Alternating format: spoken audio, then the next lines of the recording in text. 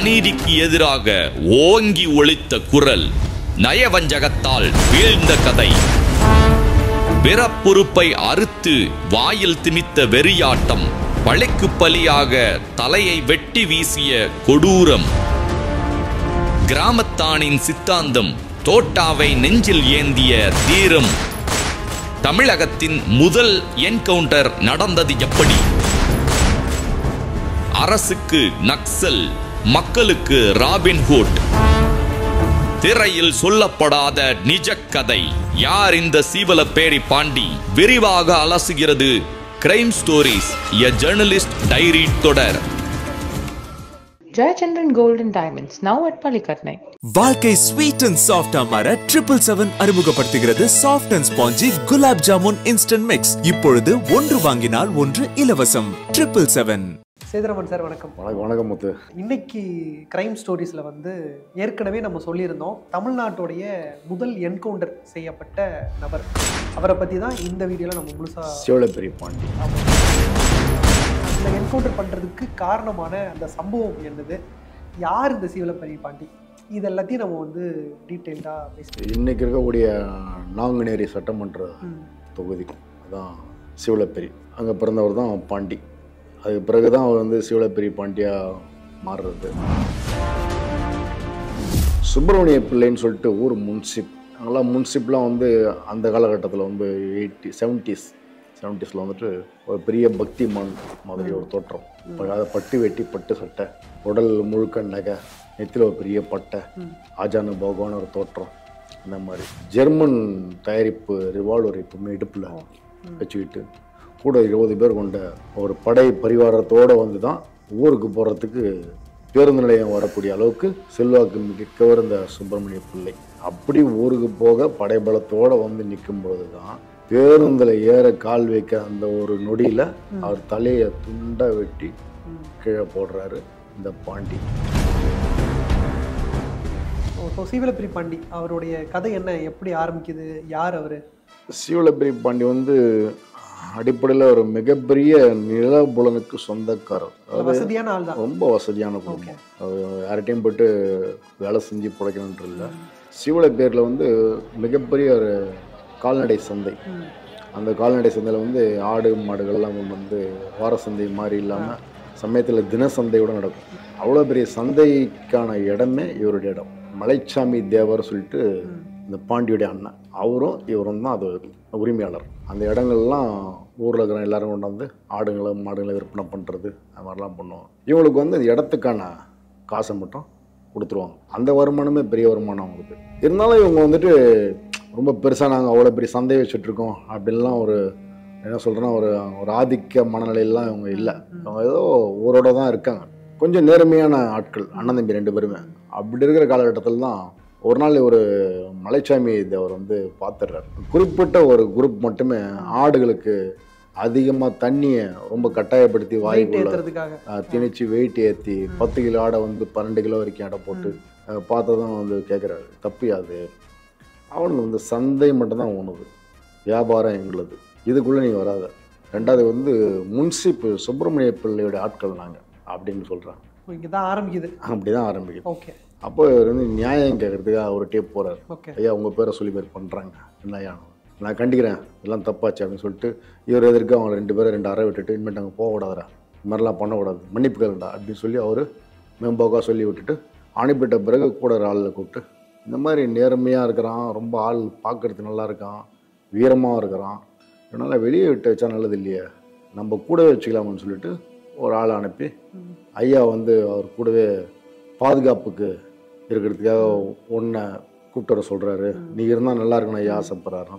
இப்போ முன்சிப்புன்றது பெரிய ஒரு இது கம்பீரமான ஒரு பதவி மாதிரி இருந்த காலகட்டத்தில் அவரே வேலையை கூப்பிட்றாருன்னும் போது ஒரு சந்தோஷத்தில் இவர் தம்பிக்கிட்ட அந்த பொறுப்பெல்லாம் விட்டுட்டு. பொறுப்பெல்லாம் விட்டுட்டு இவர் அங்கே போயிடுறாரு.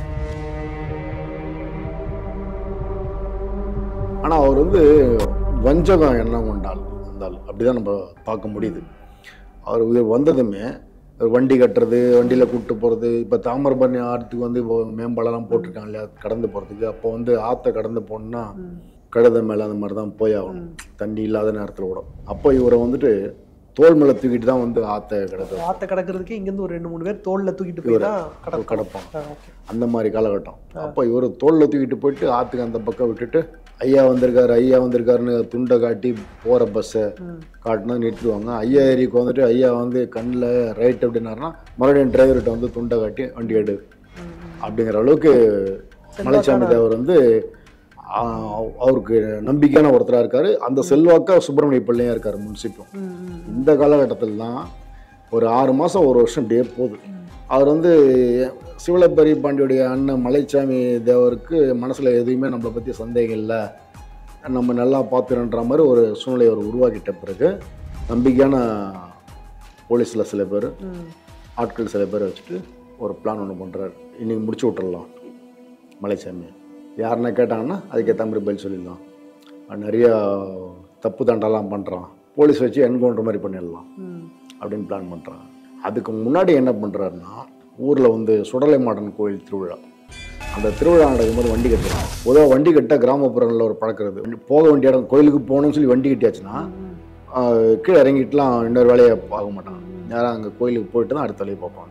குடும்பத்தோடு போயிட்டு சுடலை மாடன் கோயிலுக்கு போகிறதுக்கு மலைச்சாமி தேவர் சிவலபெரி பாண்டி அம்மா அப்பா எல்லாம் குடும்பமே ஏறி வண்டியில் உட்காந்துட்டு சவளப்பேரின்றது அவங்களுடைய ஊர். அங்கேருந்து ஒரு ஒன்றரை கிலோமீட்டர். அங்கேருந்து ஒன்றரை கிலோமீட்டர் தான் சிவலப்பேரி. போகும்போது அங்கேருந்து முன்சிபால் அனுப்பி. இந்த மாதிரி முன்சிப்புடைய மனைவிக்கு வந்து கடுமையான ஜன்னி ஏதோ ஒன்று சொல்கிறாங்க அம்மை போட்டுடுச்சு. மரத்தில் வந்து இளநீ வெட்டி அதில் மருந்து தயார் பண்ணி கொடுக்கணும். அவ்வளோ உயரத்தில் இளநியை வந்து யாரும் ஏறி நேரத்தில் படிக்க மாட்டாங்க. மலைச்சாமி தான் நல்லா மறையிறவாப்புல ஐயா கூப்பிட்டு சொன்னார். வீட்டில் அப்பா சொல்கிறாரு மண்டி கட்டியாச்சுப்பா போக வேணான்றார். இல்லைன்னா சரி ஐயா கூப்பிட்றாரு சொல்லிட்டு வீட்டில் சமாதானம் பண்ணிட்டு போகிறாரு இப்படி போகும்போது தான் இளநீ பறிச்சுட்டு கீழே இறங்குறாரு. ஐயா வரையா ஊரில் எல்லாம் காத்துட்டு இருக்கான்னு சொல்லிட்டு போகும்போது பின்பக்கமாக இருந்து துப்பாக்கி குண்டுகளில் ஃபயரிங் அது போலீஸ் என்கவுண்டர் மாதிரி அவர் வந்து சுப்பிரமணிய பிள்ளை வந்து பிற்காலத்தில் சொல்கிறாரு அந்த சம்பவம் நடக்கும்போது போலீஸ் இந்த மாதிரி பண்ணிட்டாங்க அப்படின்னு சொல்கிறாரு அப்படி போயிடுது. ஸோ இந்த விஷயத்த வந்து சிவில பெரிய நம்பி சிவபெரி நம்பிடுறாரு அதாவது இவரே போய் சொல்கிறாரு இந்த மாதிரி போலீஸ் இந்த பண்ணிட்டாங்கன்றாரு. சுட்டது இவரோட இருக்கலாம். போலீஸ் மாதிரி பண்ணிட்டாங்க. அது மாதிரி எந்த போலீஸ் பண்ணான்னு தெரியும் எனக்கு. நான் அவங்கள ஆளே ஒன்று காட்டுறேன். அண்ணனை கொண்டவங்கள நீ பழைய விடக்கூடாது. நீ என் கூட இருந்தால் ரொம்ப சுலபமாக இருக்கும்னு சொல்லி அடுத்து இவரையும் கூட வச்சுக்கிறாரு. கூட வச்சுக்கிட்டு இவர் சரி அண்ணனை கொண்டவனை பழித்துக்கிறதுக்கு ஒரு வழி இருக்குது அப்படின்னு சொல்லிட்டு ஒரு உடைய விசுவாசமாக இருக்காது விசுவாசமாக போயிட்டுருக்கும்போது தான் சில பெண்கள் வந்து இவர்கிட்ட சொல்கிறாங்க நீங்கள் நினைக்கிற மாதிரி அந்த ஆள் அவ்வளோ நல்லவன் இல்லை. பெண்கள் விஷயத்துலேயும் மோசமான ஆள் தான். நிறைய பெண்கள் இந்த ஊரில் பாதிக்கப்பட்டிருக்காங்க அவரால் பாதிக்கப்பட்ட பெண்கள் பெண்கள். முன்சிப்புன்ற ஒரு அதிகாரத்தை வச்சுக்கிட்டு நெத்தியில் பட்டை அடிச்சுக்கிட்டு ஊரே ஏமாத்துறான் நல்லவன் இல்லை நீ பாருங்க அப்படின்னு சொல்லி அவரெல்லாம் க அவங்கள்ட்ட கடிந்து பேசுகிறாரு நம்பல. ஐயா பற்றி என்ன தெரியும் உங்களுக்கு? போங்க. ஐயா தெய்வம் மாதிரி அப்படிங்கிறார். அதுக்கப்புறம் இவருக்கே சில விஷயங்கள் வந்து கண்ணெதிர பார்க்கக்கூடிய சூழ்நிலைலாம் உருவாகுது உருவான பிறகு இவருடைய நண்பர்கள் ஒரு ஒரு மூணு பேர். இலியான் அஹ் முண்டத்தேவர் அப்படின்னு சித்தப்பா ஒருத்தர் ஒரு மூணு நாலு பேர் இருக்காங்க. அவங்கெல்லாம் வந்து எடுத்து சொல்கிறாங்க நீ வந்து ஊர் மக்கள் சொல்கிற விஷயம் உண்மைதான். நீ நம்பிட்டு இருக்கிற உஷாராக இருக்கும்போது அதே நேரத்துலயே அவருக்கு இந்த விஷயமும் உறுதியாயிடுது. உறுதியாகிட்டு தான் அண்ணனை கொண்ட வீட்லேயே நம்ம இவ்வளோ நாள் சர்வீஸ் பண்ணிட்டு இருக்கோமே. இவரை முடிச்சு விட்டணும்னு சொல்லிட்டு தான் நான் சொன்ன பாருங்க முதல்ல. ஊர் பக்கம் வந்து பஸ் ஏறும்போது வெட்டி முடிக்கணும் வெட்டி முடிச்சதுமே செத்தது முன்சிபல்னால போலீஸ் ரொம்ப வேகமாகிடுச்சு ஊரே வந்து தேட ஆரம்பிக்கிறாங்க. அப்போ யாருன்னும் போது பாண்டி எந்த பாண்டினா சிவலப்பிரி பாண்டி. அப்புறம் அவர் அங்கேருந்து இனிமேல் இந்த ஊரில் இருந்தால் போலீஸ்கிட்ட மாட்டிப்போன்னு சொல்லிட்டு தான் தூத்துக்குடி தூத்துக்குடிக்கு போயிடுறாரு. தூத்துக்குடியில் வந்து ஒரு தாய் மாமா கம்யூனிஸ்ட் கந்தசாமின்னு பேர். அவர் வீட்டில் போயிட்டு ஒரு ரெண்டு மூணு நாள் இருக்கார். விஷயத்த சொல்கிறாரு நான் எதனா ஒரு பிரச்சனை ஆயிடுச்சுன்னா மாமா சேர்ந்து பாதிக்கூடாது சொல்லிட்டு அங்கேருந்து ஸ்ரீவில்லிபுத்தூரில் இருக்கக்கூடிய தங்கச்சி வீட்டுக்கு போயிடுறாரு. தங்கச்சி வீட்டுக்கு போயிட்டு ஒரு நாள் இருக்காரு மறுநாள் காலையில இருந்து பல்லு விலகலான்னு சொல்லிட்டு வேப்பங்குச்சி உடைகிறாரு பிரபல நடிகர் ஓஏகே தேவர். அவர் அந்த பக்கமாக வரார். அவர் இராணுவ அதிகாரியாக இருந்து ஓய்வு பெற்றவர். போலீஸ் எடுத்து நீ என்னப்பா இங்கே இருக்கு? அப்படின்றது தான். எங்க எந்த ஆள் காட்டி கொடுத்துட போறாரு சொல்லிட்டு அவர் விட்டு விட்டுறாரு. ஒரு உயிருக்கு ஆபத்தில் வெட்டிட்டு அங்கேருந்து ஓட்டம். இந்த பக்கம் வந்து பெரிய கொலை இந்த பக்கம் இராணுவ அதிகாரி ஓய்வு பெற்றவரை வெட்டினது. பெரிய விஷயமாயிட்டு தான் அங்கேருந்து தான் வந்து சினிமாவில் வந்து நிழல்கள் ரவி ஒரு கதாபாத்திரம் எடுத்திருப்பார் பாருங்க. சிவலப்பெரிய பாண்டி படம் நெப்போலியன் ஹீரோவாக நடிச்சது. அதில் வந்து பூம்பாறைன்னு சொல்லிட்டு ஒரு ஊர் கொடைக்கானல் பக்கத்தில். அங்கே இருக்க ஒரு பெரிய பண்ணை ஆளுகிட்ட போயிட்டு கூலி விவசாயியா இருந்துறாரு. தினமும் ஒரு முந்நூறுரூவா நானூறுரூவா வருமானம் இவருக்கு ஒரு மனைவி. அந்த இவங்களுக்கு சாப்பாடு வந்து பண்ணையில் போட்டுடுறாங்க.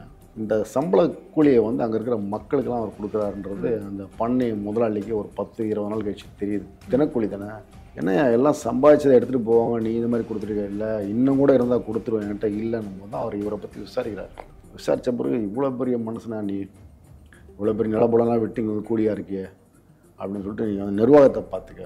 இல்லை நிர்வாகம்லாம் வேண்டாம் இப்படி கூலியாகவே இருக்கேன் அப்படின்னதும் வருஷம் வருஷம் அந்த சித்திரை ஒன்றில் வந்து சுடல மாடம் கோவில் திருவிழா கிடா வெட்டுறது அதுக்கு இந்த முறை போய் ஆகணுன்றாரு அப்போ இவர் சொல்கிறார் இல்லை போலீஸ் வந்து கண்டிப்பாக ரவுண்ட் பண்ணிவிடுவாங்க அங்கே போகிறது சிக்கல் தான். ஏற்கனவே உன்னை வந்து நிறைய பேர் வந்து உனக்கு ஆகாதவங்க போலீஸுக்கு வந்து நீ எந்த பக்கம் வருவன்லாம் சொல்லி கொடுத்துருக்காங்க. அப்போ வந்து கருப்புசாமி பாண்டியன்னு சொல்லிட்டு ஒரு AIADMK MLA eighty four MGR CM அந்த நேரத்தில். அவருக்கு ஏதோ ஒரு மேலே ஒரு முன்னுரோதம். அவர் வந்து அந்த சரியான நேரத்தில் அரசாங்கத்திட்ட அப்போ நக்சல்லாம் வந்து வேட்டையாடிட்டு இருக்கிற நேரம். பல மாவட்டங்களில். குறிப்பாக தென் மாவட்டங்களில் நக்சல்லாம் மாட்டிகிட்டு இருக்கிற நேரம். அப்போ இவரும் ஒரு நக்சல்ன்ற மாதிரி அரசாங்கத்துடைய காதுகளில் ரொம்ப வலுவாக நக்சல் டீமோட இருக்காருன்ற மாதிரி கரெக்டாக சொல்லி வச்சதும் கரெக்டாக சுடலமாடன் கோயில் திருவிழாவுக்கு வர்றாரு. கோயிலுக்கு வந்து நிற்கும்போது தான் போலீஸ் அவங்க பண்ணிட்டு போலீஸ் வருவாங்கன்றது இவருக்கு முன்னாடி தெரிஞ்சிச்சு ஓடவே இல்லை. அது துப்பாக்கி வச்சுட்டு நிற்கிறாங்க இவர் நின்றுட்டு சினிமாவில் வர மாதிரி பொறுமையாக நின்று வந்தீங்க. வந்த வேலையை முடிச்சுட்டு போயிட்டீங்க. யாரும் வந்து உங்கள் கடமையிலேருந்து பின்வாங்காதீங்க. என் மக்களுக்கு நான் ஒரு செய்தியை மட்டும் சொல்லிடுறேன். அம்மா எல்லாம் நல்லா பிள்ளைங்கள படிக்க வைங்க. எந்த சூழ்நிலையும் தைரியத்தை கைவிட்டுற வேணாம்னு சொல்லி வளங்க நேர்மையாக இருக்க சொல்லுங்க. எந்த ஒரு சோதனை வந்தாலும் உயிருக்கு பயந்து உண்மையை விட்டு கொடுத்துறாதீங்க. அப்படி சொல்லிட்டு நல்லா கை அகலமாக விரித்து போலீஸை சுடுங்கன்றார் அப்போ தான் ஃபயர் பண்ணுறாங்க அந்த துப்பாக்கி குண்டில் வந்து வலிந்து நேருக்கு நேராக ஆமாம் வாங்கிட்டு இறக்குறாரு அவர் வந்து அந்த கொலை பண்ணது வந்து மக்கள் பெருசாக பேசலை. அந்த கொலை கூட பார்த்தீங்கன்னா அவங்களுக்கு அவர் பெண்கள் விஷயத்தில் மோசமாக இருந்தாருன்ற காரணத்துக்காக அவருடைய பிறப்புறுப்பை அறுத்து அவர் வாயிலே கொலை செய்யும்போது. கொலை செய்யும்போது திணிச்சிட்டு. எனக்கு தெரிஞ்சு முதல் முறை அதான். நம்ம இப்போ இவருடைய நம்ம ஒரு கொலை ஒன்று நடந்தது இல்லையா? அரசியல் கொலை. ராமஜெயம் கொலை. அதில் கூட அப்படி தான் பிறப்புறுப்பை அறுத்து வாயில் வச்சு தான் பண்ணி இது வந்து இப்போ இதுக்கு முன்னாடி நிறைய கொலைகள் அது மாதிரி இருக்குது. அது முத முதல்ல வந்து எனக்கு தெரிஞ்சு சீலப்பெரிய பாண்டி பண்ணது தான் அந்த மாதிரி. அதாவது பெண்கள் விஷயம் அப்படின்றத அது அது அந்த வந்து அந்த ஒரு மற்றவங்களுக்கு ஒரு அச்சுறுத்தலாக இருக்கணும் பயம் இருக்கணும் அப்படின்னு சொல்லிட்டு அந்த வேலையை. என்ன நைன்டீன் எயிட்டி ஃபோரில் அந்த சம்பவம் நடந்தது.